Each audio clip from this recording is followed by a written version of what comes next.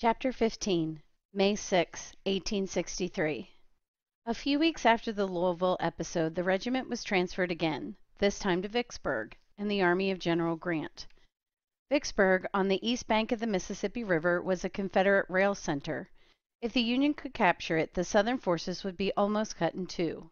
But the city was well defended, guarded by river and swamplands on one side and steep craggy bluffs on the other.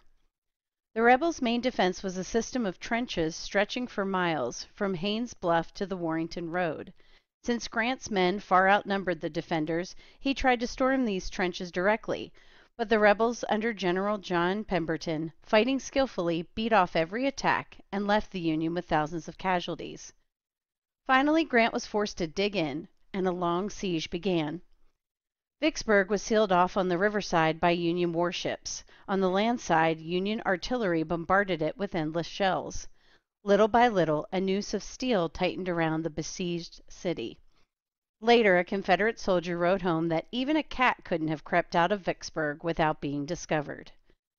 All this caused great suffering on both sides. The cannoning killed hundreds of soldiers and civilians inside the wrecked and starving city. Meanwhile, rebel sharpshooters hidden on the bluffs picked off great numbers of Union men.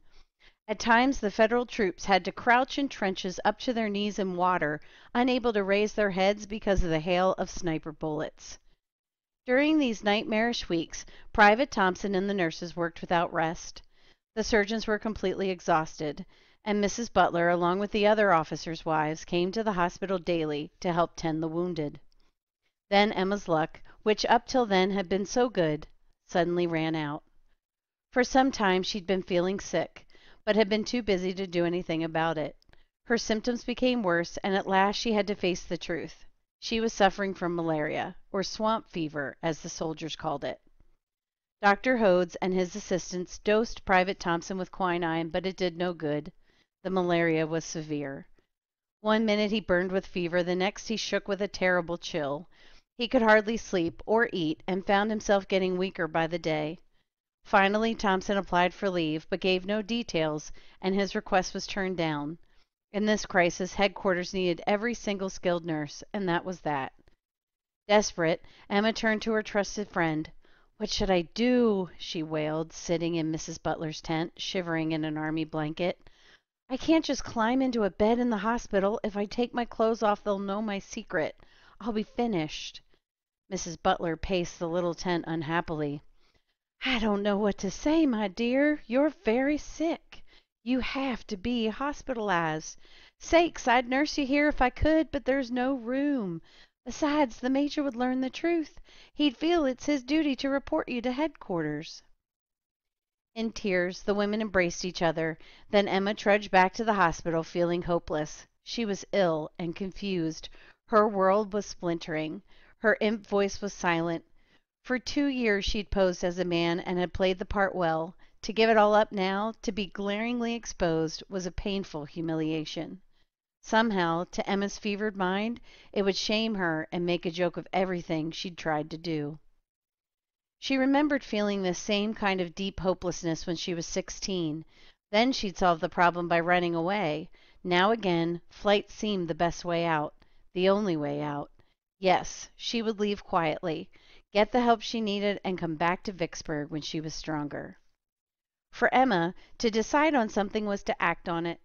She left a brief note for Mrs. Butler explaining her plans and asking her to please look after Rebel. Then she packed her kit, took the money she'd saved, and slipped out of the nurse's quarters. Before dawn, she hitched a ride out of camp on a drover's cart Later, near Steele's Bayou, she took passage on the Mississippi riverboat and headed north to Cairo, Illinois. Cairo was a bustling town, big enough to boast a hospital. Emma, weak and shaky, managed to buy a skirt, blouse, and bonnet. In a rented room, she changed from a Union soldier back to plain Miss Edmonds. Then she went to the hospital and signed herself in for treatment.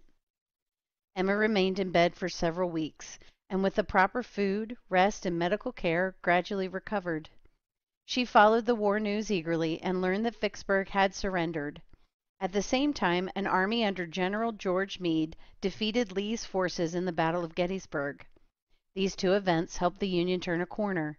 Victory was still a distant dream, but the beginning but the but was beginning to come closer. Emma sensed the turn of the tide and with her malaria under control planned to rejoin her old outfit. Instead, she received another blow. Scanning the Army bulletins in the window of the Cairo newspaper office, she saw that Private Franklin Thompson of the 2nd Michigan was listed as AWOL, absent without leave. In the Army's books, she had been branded a deserter. For Emma Edmonds, a door suddenly slammed shut. Now there was no way she could take up her old work as a field nurse, courier, and Union spy. Private Thompson was considered a deserter. He couldn't protest without an investigation in which the secret would surely come out. For a time, Emma was heartsick. Then she reacted to the setback the way she always did, with action. Frank Thompson might be finished, but the war was still on, and there were many ways she could be useful. She sent word to Mrs. Butler telling her what had happened, then, with the last of her funds, bought a train ticket to Washington. After her two years away, she found the capital more hectic and chaotic than ever. Wounded men were pouring in, and here, far from the fighting fronts, good nurses were badly needed. She found a place to live and went quickly to work in one of the base hospitals. For the remainder of the war, Emma served as a nurse under her rightful name, tending and comforting the wounded. Now and then she would run into a trooper from Vicksburg or Yorktown and would ply him with questions about friends and acquaintances.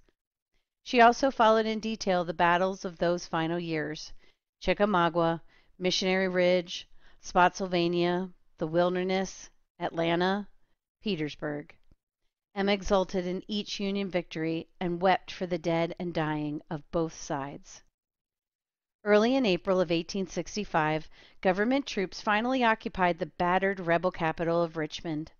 On the 9th of that same month, General Lee surrendered the Confederate armies to Ulysses Grant, and at last the long ordeal was over.